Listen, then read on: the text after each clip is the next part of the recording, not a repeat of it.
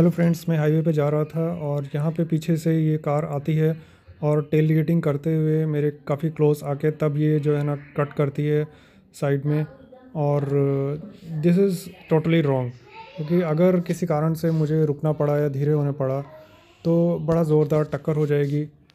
He is coming to close he is not keeping safe distance and इसकी कोई ज़रूरत नहीं थी। आप देख सकते हैं, रोड पे ज़्यादा गाड़ी नहीं है, खुला रोड है। आसानी से ये थोड़ा सा डिस्टेंस रखते हुए सेफली ओवरटेक करके और अपने लेन में लेन में रहते हुए ओवरटेक कर सकता था मुझे।